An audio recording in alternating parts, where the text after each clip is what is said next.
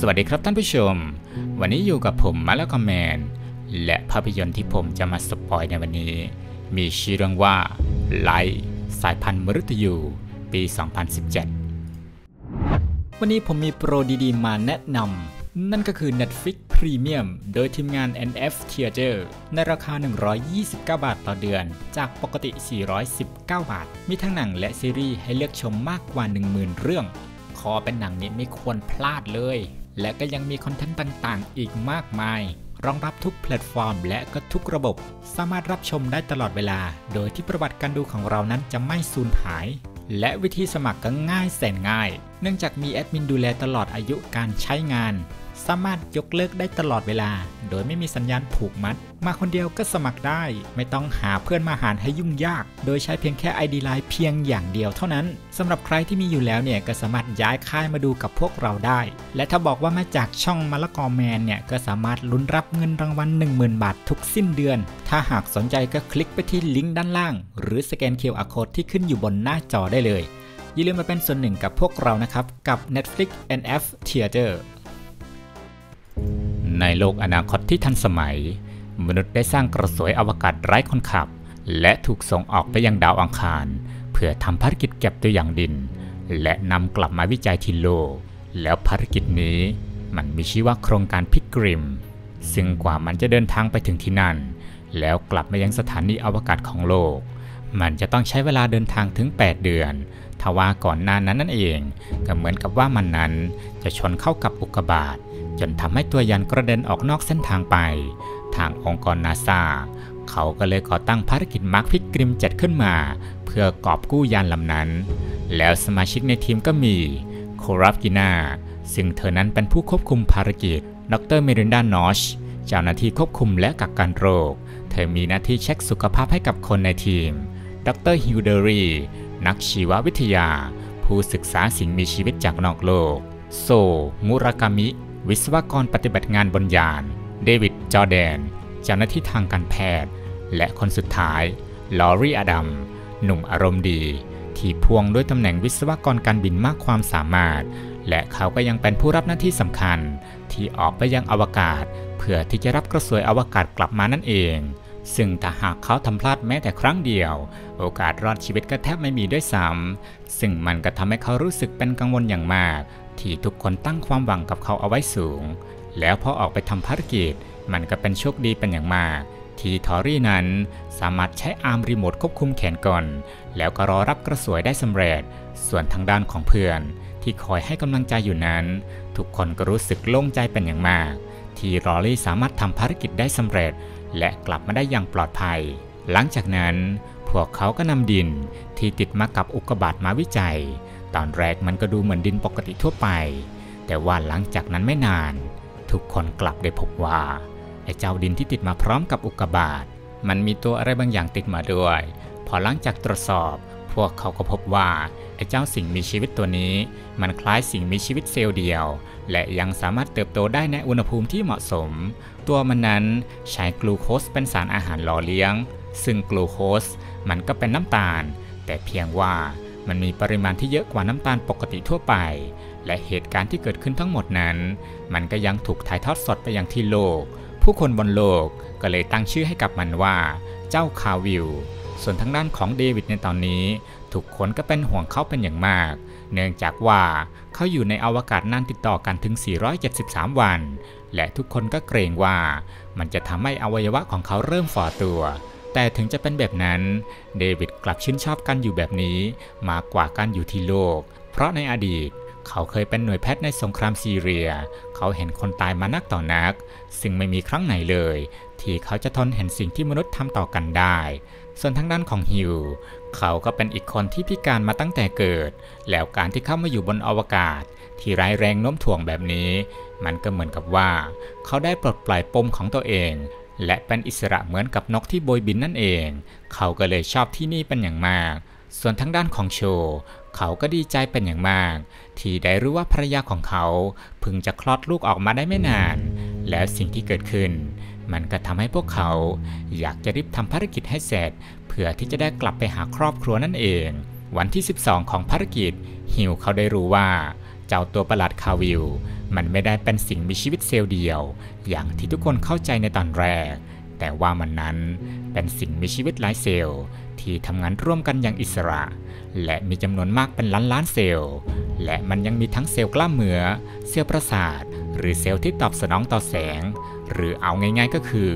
มันมีสมอง มีตา รับรู้ถึงความรู้สึกได้เหมือนกับมนุษย์นั่นเอง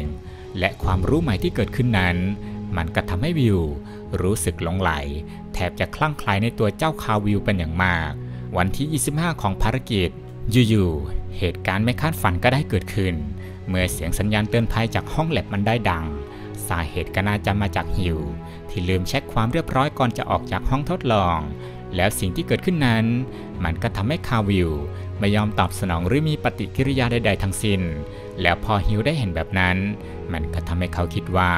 ไอ้เจ้าตัวประหลาด มันกำลังจำศีลเพื่อปกป้องตัวเองจากอันตรายก็เป็นได้ ทางด้านของมิเรนดาก็ได้บอกว่า ลองกระตุ้นมันด้วยไฟฟ้าดูไหม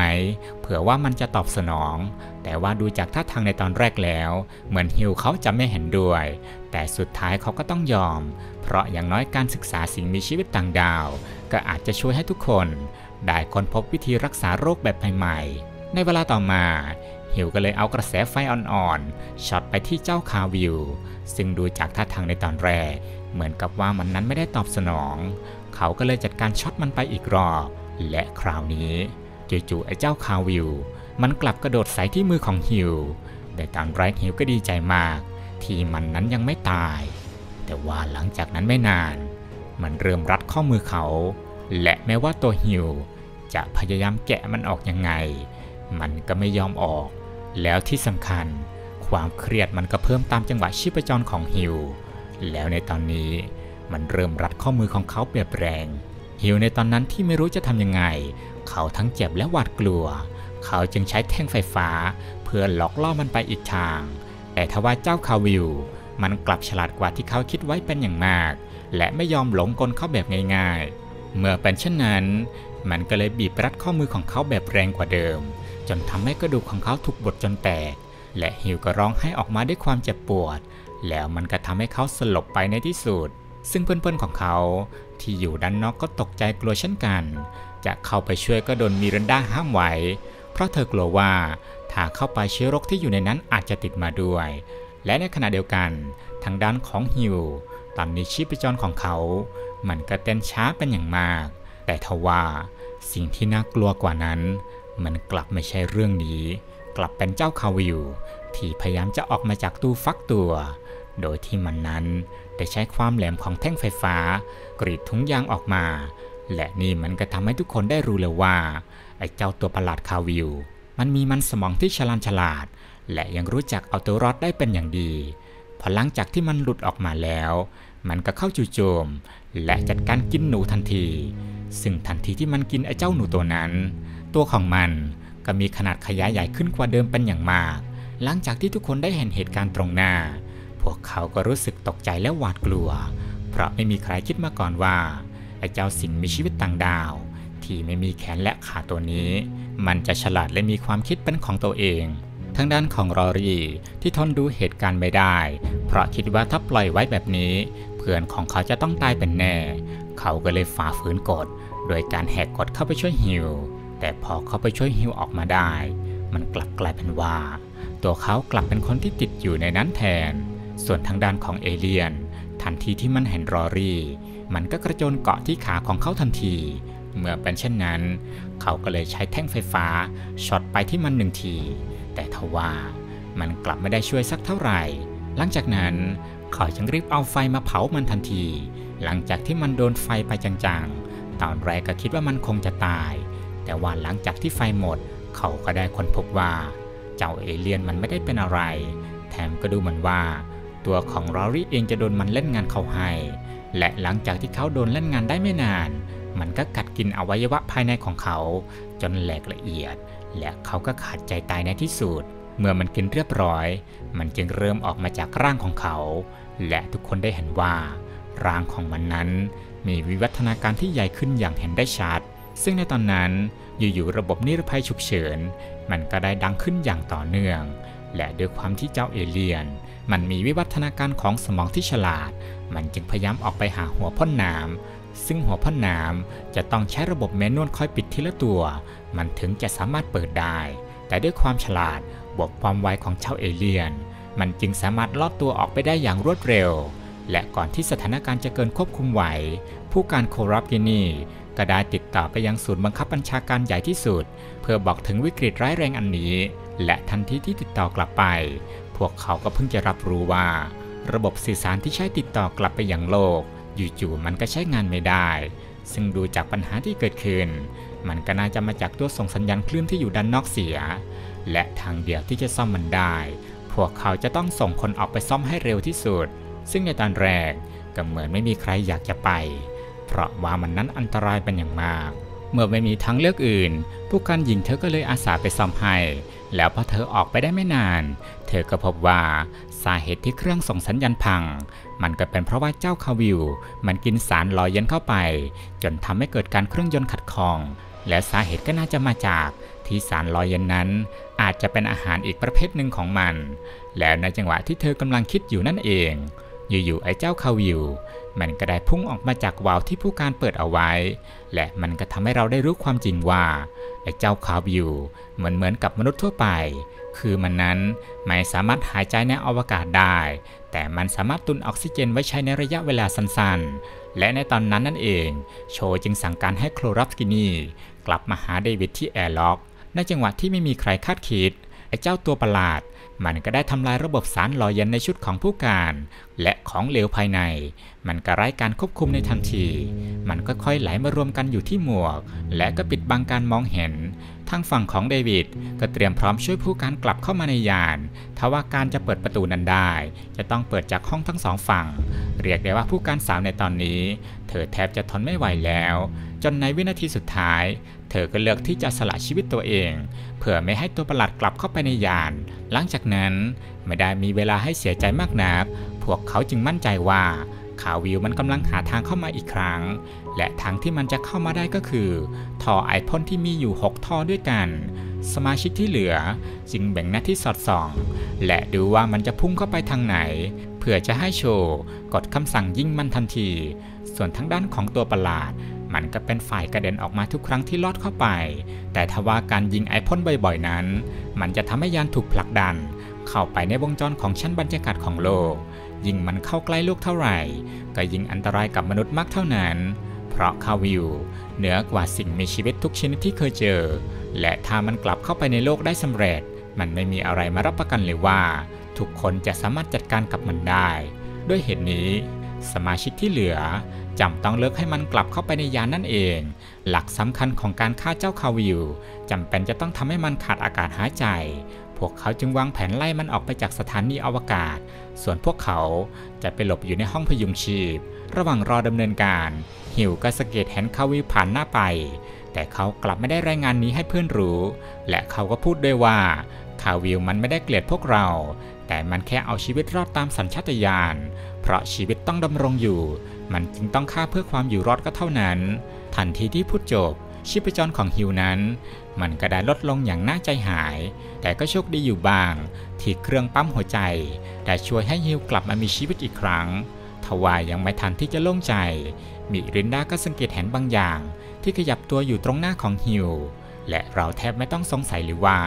มันคือเจ้าคาวิลที่กำลังกัดกินขาของเขาอยู่ และนั่นก็แสดงให้เห็นว่า ฮิวจงใจที่จะช่วยเหลือมัน เพราะความสงสารสิ่งมีชีวิตที่พยายามดิ้นรนเพื่อเอาชีวิตรอด ในตอนนี้เจ้าเอเลี่ยนมันมีวิวัฒนาการอย่างรวดเร็ว ทันทีที่มันเห็นพวกมนุษย์หนี มันจึงตามไล่ล่ามาอย่างติดๆ ส่วนทางฝั่งของมิรินดากับเดวิดก็หนีเข้าไปในห้องได้ทัน ส่วนโชว์ที่รังท้ายสุดก็ได้เฉลบเข้าไปในทางห้องนอน พร้อมกับกักตัวเองอยู่ในตู้นอน และทางคาวิวเองก็ไม่ยอมแพ้ง่ายๆ เมื่อเห็นเหยื่ออยู่ตรงหน้า มันจึงใช้แรงที่มี ยกฝาตู้นอนออกมา แต่ทำยังไม่ได้สำเร็จ มันก็ล้มเลิกความตั้งใจในที่สุดพอเวลาผ่านไปออกซิเจนก็ได้ถูกไหลออกจากสถานีจนหมด ซึ่งมันก็เป็นช่วงเวลาเดียวกับที่หิว เขาไม่สามารถทนพิษบาดแผลไว้ได้ และเขาก็ขอโทษเดวิดกับมิรินดาก่อนจากไป และท่ามกลางความโศกเศร้าจู่ๆภาพบนจอก็ได้แสดงให้เห็นว่า ขาวิวมันอยู่ส่วนไหนของยาน จากเครื่องติดตามสัญญาณที่ขาของฮิว มันก็เผลอกินเข้าไปด้วย หลังจากนั้นมิรินดาก็ร่วมมือกับเดวิดและใช้ศพของฮิวหลอกล่อคาวิลเข้าไปอยู่ในห้องปิดตาย ก่อนจะทำการไล่อากาศออกไปทั้งหมด และเวลาก็เริ่มนับถอยหลังทันที จนในที่สุดมันก็สิ้นใจ ในขณะนั้นเองที่มีสัญญาณแจ้งเตือนว่า มันมีบางอย่างใกล้เข้ามา ซึ่งมันก็คือยานจากโลก ที่ส่งมาเพราะสัญญาณขอความช่วยเหลือของผู้การ และที่ซวยกว่านั้นก็คือ มันกำลังจอดเชื่อมต่อ ตรงที่คาวิลถูกขังไว้อยู่พอดี ในตอนนั้นมิรินดาได้ห้ามเดวิดที่จะออกไปสื่อสารกับยานลำใหม่ เธอได้บอกว่า นี่ไม่ใช่ยานช่วยเหลืออย่างที่เข้าใจ แต่มันเป็นยานที่ส่งมา เพื่อไล่เราออกไปยังอวกาศชั้นนอก หากปฏิบัติภารกิจไม่สำเร็จ สิ่งนี้เป็นข้อตกลงในสัญญาตั้งแต่แรก มีเพียงมิรันดา และผู้การโคลอฟสกี้ที่รับทราบเรื่องนี้ ทางด้านของโชที่ยังไม่รู้ความจริง เขาจึงรีบออกจากตู้นอน แล้วพุ่งตรงมาอย่างยาน ที่คิดว่ามาช่วยอย่างมีความหวัง โดยที่เขาไม่รู้เลยว่ากำลังจะส่งตัวเองเข้าไปหาเจ้าคาวิลทางด้านของเดวิดกับมิรินดานั้น ก็รีบมาที่กระสวยเพื่อพาโชไปยังที่ปลอดภัย แต่แล้วเหตุการณ์สุดวิสัยก็ได้เกิดขึ้น เมื่อ airlock ที่เชื่อมต่อระหว่างยานลำใหม่ได้หลุดออก สภาพอากาศภายนอก ได้เกิดความแปรปรวนในทันที แรงดึงดูดจากภายนอกนั้น กลืนกินทุกสิ่งทุกอย่างไม่เลือกหน้า มิแรนดานั้นบอกให้โชจับมือเธอไว้ให้มั่น ในขณะเดียวกันคาลวินก็พยายามไต่ตัวโชขึ้นมาเพื่อเอาชีวิตรอด โชจึงตัดสินใจเด็ดเดี่ยว โดยการสละตัวเองไปพร้อมๆ กับเจ้าคาวิล ส่วนเดวิดและมิรินดาที่เห็นกับตาว่าร่างของโชลอยออกไปนอกอวกาศ แต่ไม่ใช่กับวิว มันยังเกาะตัวเองกับยานไว้อย่างแน่นหนา ตอนนี้ผู้รอดชีวิตทั้งสองได้กักตัวเองไว้ในห้องพยุงชีพ โดยมีคาวิลอยู่ด้านนอก และในตอนนั้นเครื่องยนต์หลายส่วนก็ล้วนเสียหายจนยากจะคืนคู่ รวมถึงระบบพยุงชีพ ที่ไม่สามารถควบคุมอุณหภูมิได้อีกต่อไป และซ้ำร้ายไปกว่านั้น คือยานลำนี้กำลังโคจรเข้าใกล้โลกมากขึ้น เพราะแรงผลักดันไอพ่นที่ผิดพลาด และในตอนนี้ก็ไม่มีเชื้อเพลิง พอที่จะควบคุมเส้นทางได้อีกแล้ว สรุปได้ว่าตอนนี้ พวกเขามีเวลา 39 นาที ก่อนที่จะเข้าสู่พื้นบรรยากาศของโลก แม้พวกเขาจะไม่รอด แต่สำหรับเขาอยู่นั้นไม่แน่ ร่างกายของมนุษย์ทั้งสอง หนาวสั่นท่ามกลางอุณหภูมิที่ลดลง ก่อนจะยอมแพ้ให้กับโชคชะตา ส่วนเดวิดนั้น ได้แต่คิดแผนต่อกรครั้งสุดท้ายขึ้นมาได้ ภายใต้ของเขาก็คือ ยานชูชีพสองลำที่เหลือ ซึ่งยาน A และ B มันถูกตั้งค่าให้กลับไปที่โลกโดยอัตโนมัติ แต่มันสามารถเปลี่ยนเส้นทางด้วยการบังคับเมนวลได้เช่นกัน ครั้งนี้เขาจึงรับหน้าที่ล่อเจ้าคาวิลมาที่ยาน A เพื่อขับยานออกไปสู่ห้วงอวกาศ ส่วนมิรินดาจะใช้ยานบีเป็นผู้รอดชีวิตกลับไปที่โลก ในตอนนั้นเดวิดได้พูดว่าที่ของผมคือบนนี้ และผมก็ไม่อยากกลับไปหาไอ้เปรตพันล้านคนที่อยู่บนโลก เขาเตรียมตัวเตรียมใจนำแท่งออกซิเจน ออกมาหลอกคาลวินที่กำลังจะขาดอากาศหายใจ และจู่ๆมันก็ติดกับดักอย่างที่คิดเอาไว้ หลังจากใช้เวลาไม่กี่นาที เดวิดก็ประจำการที่ยานเอ พร้อมกับเจ้าเอเลี่ยนอีกหนึ่งตัว หลังจากนั้น ยานของเดวิดก็ออกตัวมาก่อน ตามมาด้วยยานของมิรินดา หลังจากนั้น หญิงสาวได้บันทึกข้อความเสียง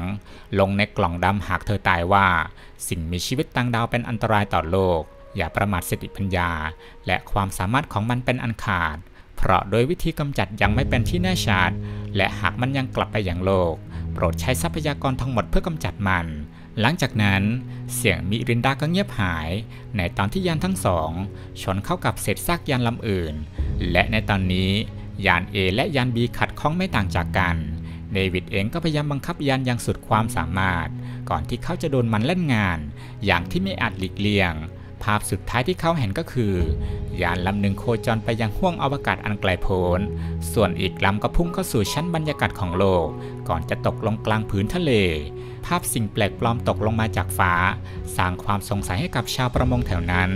พวกเขาเข้าใกล้ยานทีละนิด ก่อนจะพบว่าเดวิดอยู่ในยานลำนั้น และนั้นก็กลับกลายเป็นว่า ยานของมิรินดาขัดข้อง จนไม่สามารถควบคุมไว้ ส่วนเดวิดก็โดนเจ้าคาวิลขัดขวางการบังคับยาน เขาถูกเจ้าเอเลียน เคลือบตัวด้วยเมือกเหนียวคล้ายกำลังทำรัง ซึ่งชาวประมงไม่ได้สัมผัสถึงอันตรายที่ว่า พวกเขาพยายามงัดแงะยาน พื่อที่จะช่วยเดวิดออกมา โดยไม่ได้ฟังเสียงห้ามของคนด้านใน และหนังก็ตัดจบลง thank you